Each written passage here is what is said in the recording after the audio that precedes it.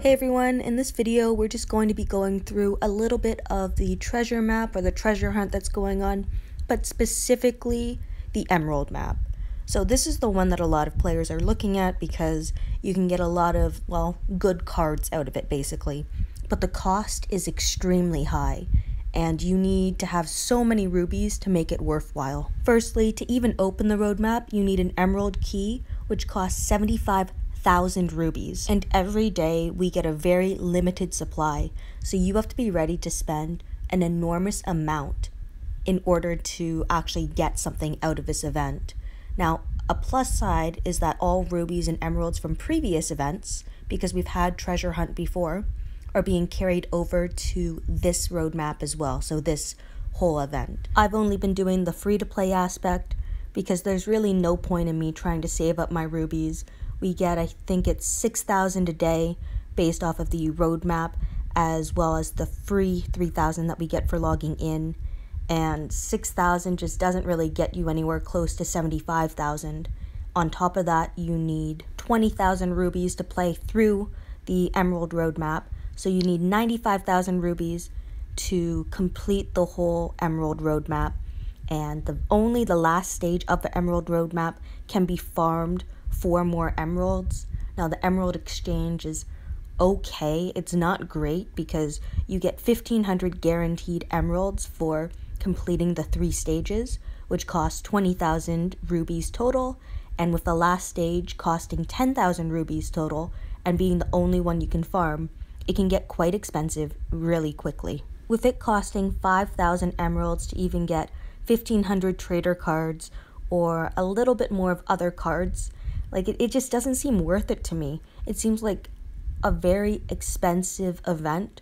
And if you would like to save your rubies and assume or at least hope that there's another treasure hunt event, you could get lucky. Like, if you end up saving them, so just keep on saving your rubies if you don't need anything off of the um, the treasure wheel where there's a bunch of different six star characters. There's also some trainers on it.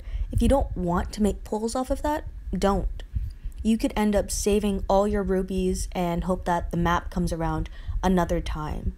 Now, of course, it's going to take quite some time to save your rubies, and if you have an itchy finger, if you're itching to pull, it can be quite difficult, but having some discipline over it could be very beneficial for you because you'll assume you'll have to assume that the next time we have this event, if it occurs again, there'll be new S class characters and new items that are available for us to pick up. For me, as a free to play player, I can't really sit on a lot of things. I need to be very pointed with what I'm collecting, when I'm collecting it, where I'm collecting it from, and what I plan to use it for in the future. One thing that I've really focused on in the S Class era is focusing on getting one S Class toon at a time and sometimes passively getting another one.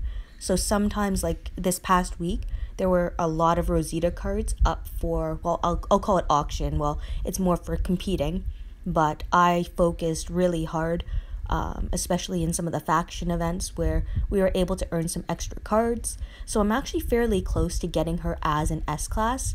I'm just kind of holding off a little bit because you can also pull some Rosita cards off of the battle pass. So I'm very close but I'm also in no rush because I don't see her currently improving my team. So I'd rather sit and hold on to some of my boxes and options instead of using them all on a whim. And I think that's one of the most difficult parts of playing this game, determining like when you should pull, when you should save, what you should do.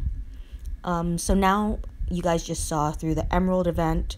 Um, I'm just going to use some tokens to see if it'll drop emeralds every time. So don't use a bronze token because it seems like it won't always drop them. Um, so the last stage, you definitely want to farm it. The drops are decent. 500, 800, 1000 are what I've gotten so far. And when you think about it, over the whole of uh, roadmap, you can get 1500 standard.